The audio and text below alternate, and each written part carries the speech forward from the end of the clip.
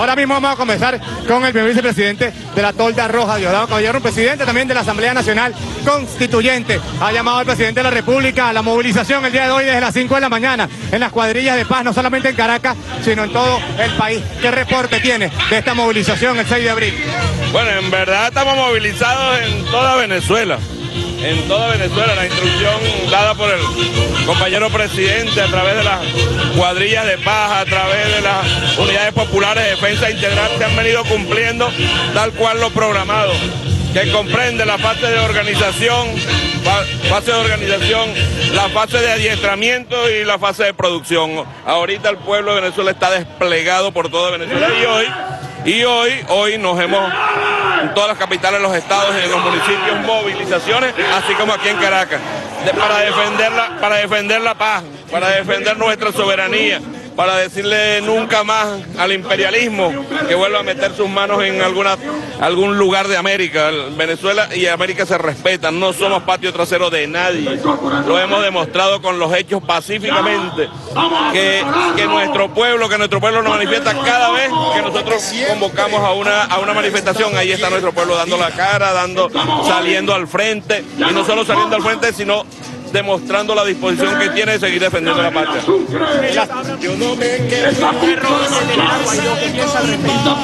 Bueno, eh, Abraham dijo eso. Abraham no, no, tiene ni arte ni parte en la justicia venezolana. Es un asesino. Abraham es un asesino. Quien debería estar preso es Abraham. Condenado en Estados Unidos por genocidio en Centroamérica.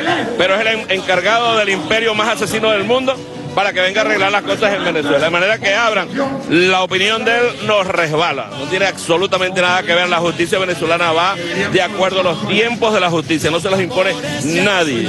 Ni abran, ni siquiera desde aquí adentro alguien. Y ya con el caso del señor Guaidó se ha ido haciendo el procedimiento que corresponde en la constitución y las leyes de Venezuela. Sin ningún tipo de atropellos, derecho a la defensa, todo, todo. Y el día que la justicia decida, ahí la justicia va a intervenir. Y lo que diga, lo que diga Abran no nos importa, para nada, para nada, para nada. abril y el pueblo sigue movilizado justamente frente a todos los ataques de la llamada Operación Libertad durante todo el día de hoy, durante todo el fin de semana. ¿Qué respuesta le da a eso? Mira, yo, yo creo que, que los medios venezolanos de los estados, de los estados nacionales, pueden dar fe de lo que ellos movilizan por estado. Absolutamente nada. Yo tengo el reporte, yo tengo el reporte aquí en Caracas, aquí en Caracas no han sumado todavía 4.000 personas aquí en Caracas, que supuestamente hoy era el el día de los días.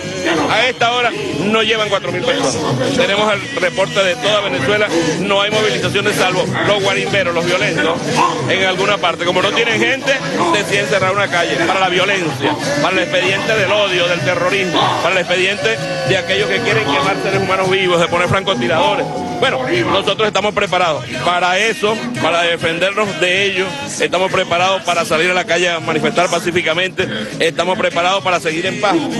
Que ellos hablan que tienen 350, dijeron que Nicolás iba el 10, dijeron que Nicolás iba el 11, el 23 de enero, el 2 de febrero, el 4 de febrero. Bueno, ¿cuántas veces le han mentido a su propia gente?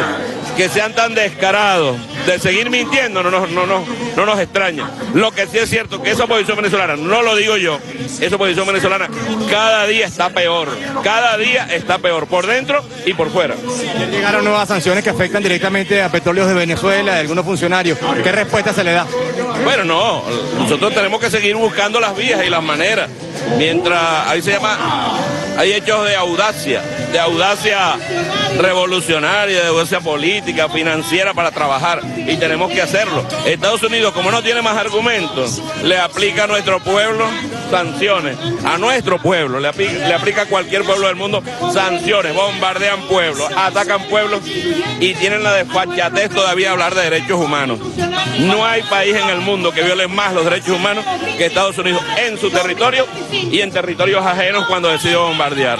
Que ellos aplican sanciones es una violación al pueblo de Venezuela, es una violación de derechos humanos que debería ser considerada por la ONU y por los organismos como crímenes de lesa humanidad, porque quien le quita el agua, quien le quita la luz, quien le quita la posibilidad de comprar alimentos o medicinas a un pueblo está cometiendo crímenes de lesa humanidad. Y esto no es que Diosdado lo está diciendo, no, ellos se lo atribuyen como unos terroristas, son unos terroristas que se atribuyen los hechos terroristas que acometen en cualquier parte del mundo. Cuando ellos dicen, le estamos aplicando sanciones, se les va a ir la luz, no van a tener gasolina. Ellos, ellos se atribuyen esos hechos. Son crímenes de lesa humanidad contra todo un pueblo, contra todo un pueblo. Nosotros aquí seguiremos resistiendo porque Venezuela es en este momento quizás el centro de las miradas del mundo están puestas en Venezuela y vamos a salir de esto en paz, seguro. es la séptima movilización consecutiva en abril, precisamente pasando un mes de marzo en el cual se atacó como nunca antes el servicio eléctrico, los servicios básicos. ¿Qué lectura tiene que dársele a la movilización del pueblo en las calles? Marzo duró como tres años, ¿ah? Marzo fue larguísimo, muy largo marzo. Todos los días movilizaciones porque son ataques a nuestro pueblo. ¿Pero qué hace nuestro pueblo? Tú lo has dicho, movilizarse. Aquí es un día sábado y nos movilizamos. Si es un domingo nos movilizamos. Lunes, el día que sea, la hora que sea, el pueblo sale a movilizarse a defender la revolución bolivariana, pero sobre todo, sobre todo a defender lo que el pueblo puede lograr con su fuerza, lo que el pueblo es capaz de conseguir, porque este pueblo puede. Este no es el pueblo de hace 40 años que no podía, el pueblo de hoy puede. El pueblo de hoy se organiza, el pueblo de hoy conoce su constitución y las leyes, el pueblo de hoy sabe reclamar, el pueblo de hoy sabe con quién debe ponerse bravo cuando sabe cuando no tiene luz, cuando no tiene agua, sabe que tiene que ponerse eh, molestarse. Yo en lo personal yo lo hago con el imperialismo que es el que da la orden y sus lacayos aquí en Venezuela, que son los que la ejecutan.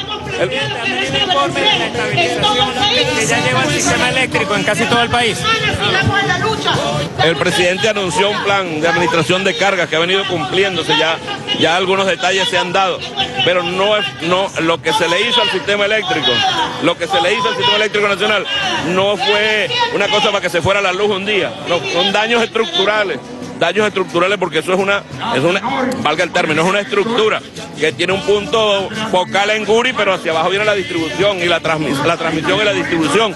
Y cada bajón o cada subida de tensión afecta la distribución y la transmisión. y puede quemar equipos, puede quemar eh, transformadores, puede hacer daño. Y por eso la gente está muy molesta porque se le quemó su cocina, se le quemó su nevera, porque esos bajones que hacen quemar una nevera son los mismos que hacen quemar un transformador. Entonces hay que estar muy pendiente, muy pendiente. Pero fíjate, ya tenemos una semana más o menos con cierta estabilidad, o cinco días con cierta estabilidad. Si logramos mantener esto dentro del plan anunciado por el presidente de 30 días, bueno, nuestro pueblo estará feliz inclusive el pueblo opositor, porque el pueblo opositor cuando se le va la luz, aquí no se va la luz solo a los chavistas, se le va a todo el mundo. Se le va a los escuálidos, perdón, a los opositores, hasta el liderazgo opositor se le va a menos que tenga su planta, pero se le va también a los venezolanos que no tienen ninguna afiliación política. Yo creo, yo creo en verdad que lo que está haciendo el pueblo de Venezuela es heroico. ¿Y quién está al frente de esa operación? El presidente Nicolás Maduro. Mientras Nicolás está al frente, llamando a arreglar la luz, llamando a arreglar, arreglar el agua, a que se restablezcan los servicios, la oposición hace fiesta. La oposición hace fiesta porque se va la luz, porque no hay hospital, no hay no hay luz en los hospitales porque no hay medicina, hacen fiesta, como que eso fuese un motivo para alegría. La tristeza, pero esa es la posición que tenemos. ¿qué, opinión le merece al partido la, el llamado del gobierno holandés y sobre todo del primer, del primer ministro de Curazao, que de exhortar al gobierno venezolano a dejarla entrar la ayuda humanitaria que está en las islas del Caribe? Obligados a nosotros, nadie nos va a obligar. El gobierno holandés ha participado activamente en los planes conspirativos contra Venezuela. Todo esto es consecuencia de que no han podido por las malas. Todo esto el presidente Nicolás Maduro, el gobierno, se reunió con la Cruz Roja. Hay un espacio por la Cruz Roja y está la Cruz Roja. Nosotros quisiéramos que no faltara medicina para los que sufren de, cáncer, para las personas que son hipertensos, que tienen problemas de diabetes. No, no queremos que haya eh, desabastecimiento de medicina. Si por ahí se puede lograr, amén. Bienvenida. Pero esos son actos hipócritas de gobierno que participaron abiertamente en la conspiración de la fase del 23 de enero y 23 de febrero. Vienen ahora con el cuento que son neutrales, no son neutrales nada, nada, nada. Presidente, esta semana va a ser una fecha importante para la revolución y se va a conmemorar 17 años del golpe de Estado del año 2002 y se va precisamente a conmemorar en medio de otro golpe de Estado que se está consumando desde el 23 de enero. ¿Qué factores, qué se va a hacer para conmemorar el resurgir del pueblo ese 13 de abril? Mira, hay un hecho fundamental. El presidente había puesto como meta para el, para el 13 de abril dos millones de milicianos y milicianos. Ya pasamos dos millones.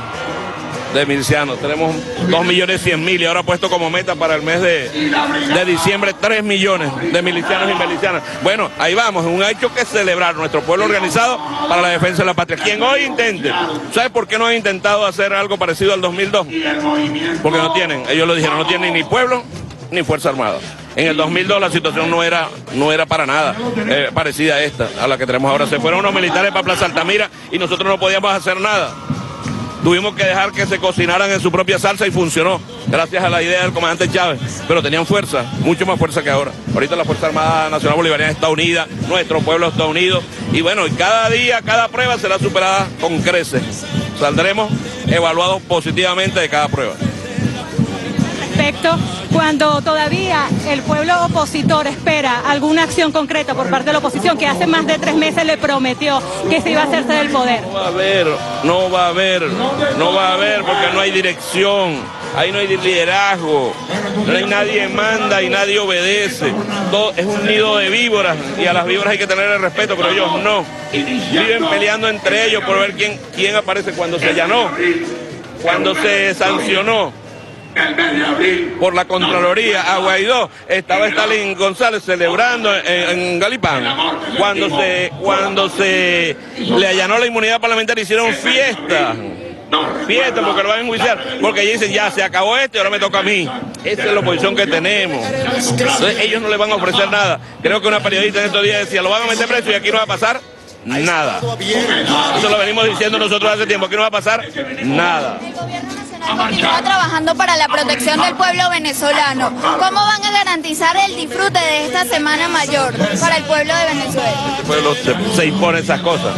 El pueblo se impone la tristeza, la amargura. Yo a mí no me extraña que en cualquier momento el partido de la jerarquía eclesiástica salga diciendo que aquí no hay... eso es parte de la oposición que tenemos aquí en Venezuela. Pero nuestro pueblo no se rinde. Lo mismo hicieron en carnaval. Y fueron de los mejores carnavales de mucho tiempo. El pueblo, mira, una mano lava la otra y entre las dos lavan la cara. El pueblo es solidario. El pueblo sabe, el pueblo sabe cómo hacer para disfrutar en familia, para disfrutar en compañía, ser, ser, ser o hacer, mejor dicho, de los de las caras tristes, caras alegres. El pueblo de Venezuela sabe y tiene mucha experiencia en eso. Y además nos gusta hacerlo. Gracias.